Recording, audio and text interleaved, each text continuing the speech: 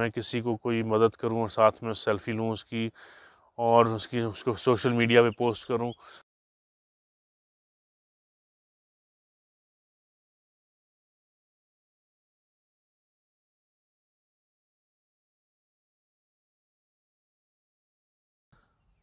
बसमीम अल्लाम ख़वान हज़रात।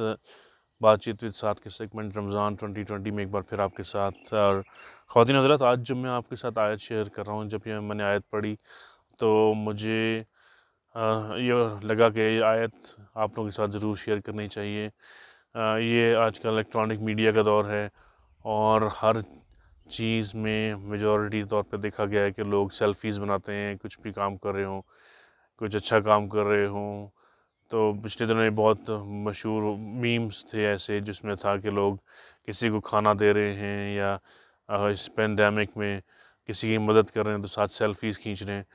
तो ये आयत एकदम आज सामने आई तो मैंने सोचा मैं आपके साथ ये आयत शेयर करूँ शायद ये किसी ना किसी की रहनुमाई कर सके। तो ये है और ये सूर्य बकरा की आयत नंबर टू सिक्सटी फोर है। और ये अल्लाह ताला इसमें फरमाते हैं। रहीम। ए ईमान वालो, मत ज़ाया करो अपने सदक़ात। एहसान जता कर और ईज़ा पहुँचा कर। उस शख्स की तरह जो ख़र्च करता है अपना माल लोगों के दिखावे के लिए और नहीं ईमान रखता अल्लाह पर और आखरत के दिन पर। और उसकी तो उसकी मिसाल ऐसी है, जैसे एक चट्टान हो उस पर हो थोड़ी सी मट्टी और बरसे उस पर ज़ोर का मी और छोड़ जाए उसे बिल्कुल साफ़ चट्टान। नहीं हासिल होता उन्हें कुछ भी सिला अपनी कमाई का और अल्लाह नई हिदायत देता काफिर लोगों को।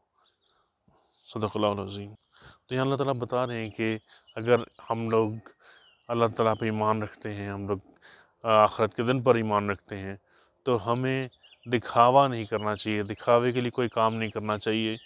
आ, और कोई काम ऐसा नहीं करना चाहिए कि जिस पर आप एहसान जताएँ किसी पर या किसी को ईज़ा पहुँचा कर। बिल्कुल ऐसी बात है कि जिस जिस तरह मैं किसी को कोई मदद करूँ और साथ में सेल्फ़ी लूँ उसकी और उसकी उसको सोशल मीडिया पे पोस्ट करूँ तो इससे उस शख्स की इज़्ज़त नफ्स पे पर कितनी ईज़ा पहुँचेगी उसको, कितनी तकलीफ़ पहुँचेगी कि मैंने इस इस बंदे से मदद मांगी और इसने पूरी दुनिया को बता दिया। ये जो है सेल्फ़ी लेकर सोशल मीडिया पे डालना, ये किसी की इज़्ज़त नफ्स को मजरू करना है। ये जो अल्लाह ताला कह रहे हैं कि किसी को ईज़ा पहुँचा कर या दिखावे के लिए सदका या खैरात ना करो।